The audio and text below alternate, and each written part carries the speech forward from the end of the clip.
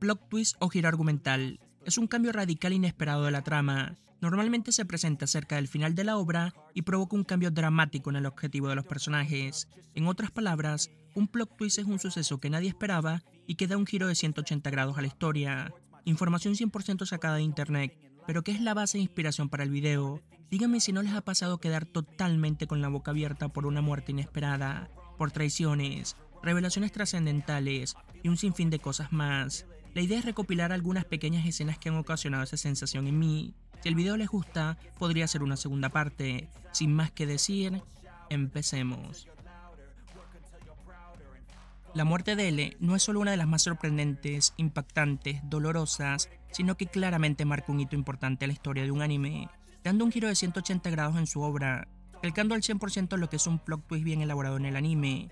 L, el coprotagonista de una serie de culto como los Death Note, con una rivalidad emblemática y legendaria como pocas veces se han visto, era alguien capaz, a través de su inteligencia, poner contra las cuerdas a cualquiera, siendo el detective con mayor IQ visto en cualquier serie. Compartía junto con Lai una guerra incansable por vencer en esa guerra de diferencia de opiniones.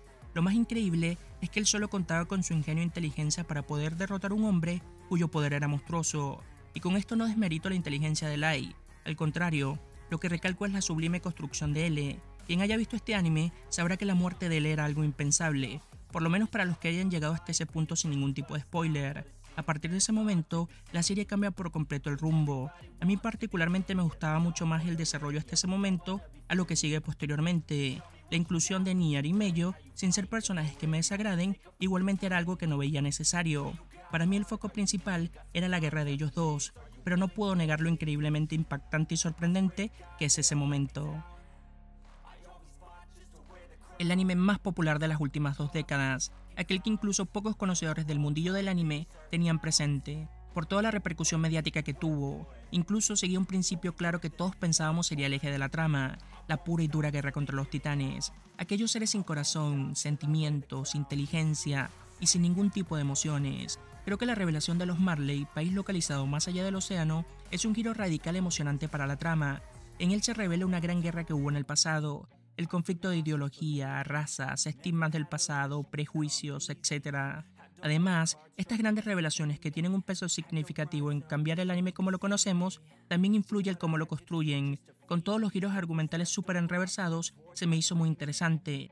Es pasar de pelear contra titanes fuera de la muralla a entender el conflicto de hace más de 2000 años, el origen de Ymir, el poder de los titanes, el peso de la sangre real, a diferencia de lo que dije con la muerte de L, todo lo que sucedió en este cambio me parece brutal. Es cambiar la serie para bien, enfrentándose a ambas formas de ver y comprender la vida en base a sus pasados y creencia. Muy entretenido.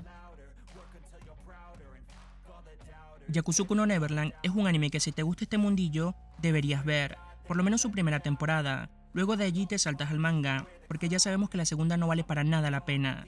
Tu trama está llena de misterio, personajes que a pesar de ser niños, cuentan con un IQ superlativo a la par de los grandes en este apartado. El hecho de mostrar a los seres humanos como mera especie de ganados para demonios da mucho impacto. Dentro de todo el mar de sucesos que ocurren, hay uno que particularmente me llama la atención. No sé si está a la altura de lo que he mencionado en este video, pero por lo menos a mí me asombró muchísimo. Y es que en cierto punto, Madre, personaje principal que cumple el papel de villano, se da a entender en un flashback que Rey, coprotagonista del trío de superdotados, es su hijo. Esto a mí me dejó perplejo, eso me cambia por completo el enfoque de la serie del personaje de madre, me invita a pensar en el miedo y desesperación para trabajar y apoyar algo que claramente acabará con la vida de tu hijo. O sea, lo estás criando, educando, dándole todo el cariño posible para luego dárselo a esos seres que ya sabemos lo que van a hacer. Metafóricamente hablando, lo estás engordando para llevarlo al matadero, sin palabras para ello. Sé que más adelante de cierta forma Madre acepta el destino de que los chicos puedan escapar y les desea suerte, pero aún así no deja de sorprenderme que sucediera eso. Seré breve en este punto, creo que lo he mencionado bastantes veces en el canal, pero oye, si hablamos de algo tan inesperado, esto debería estar en los primeros lugares. Kami ha sido el personaje por excelencia en cuanto a carisma, por lo menos así es reconocido por muchos de los que seguimos animes desde hace tanto tiempo.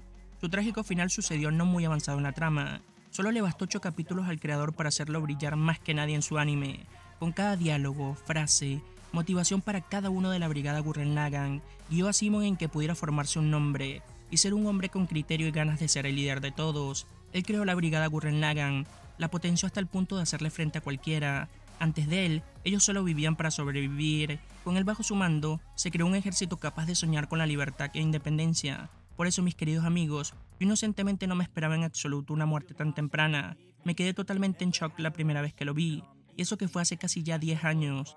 En fin, para todos los amantes de las muertes inesperadas que cambian por completo el rumbo de un anime, sin duda esta vale totalmente la pena de ver.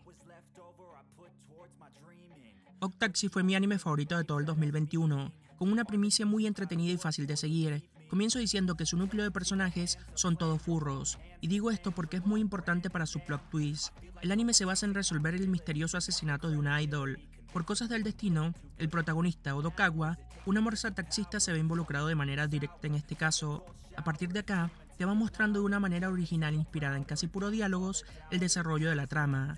Odokawa es un personaje con claros conflictos internos que le inhiben de cierta forma el poder desenvolverse de manera natural con las demás personas, con una actitud súper madura, única y orgullosa. No diré todo lo que sucede en la serie porque en sí esto no es un resumen, pero sí decir que llegado a cierto punto del caso y del pasar de los capítulos, te dejan entrever que él tiene un serio problema de salud, identidad social. No sé realmente cómo explicar este apartado.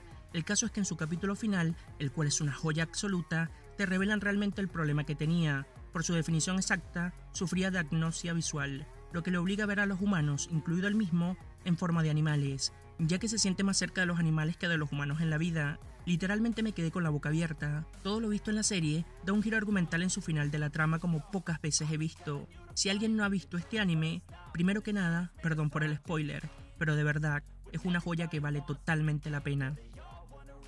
Como dije al principio, si el video tiene apoyo, me gustaría poder hacer una segunda parte. Hay escenas como el capítulo 3 de Madoka Magica, ciertas escenas de School Day, One Piece y otros animes que tienen sucesos extremadamente inesperados. Me los reservo para una posible segunda parte. Estaría encantado de que te puedas suscribir. De esa forma estarías apoyando al que pueda seguir trayendo más contenido. Estamos cerca de los 350 suscriptores. Eso me haría muy feliz. Sin más que decir, hasta la próxima.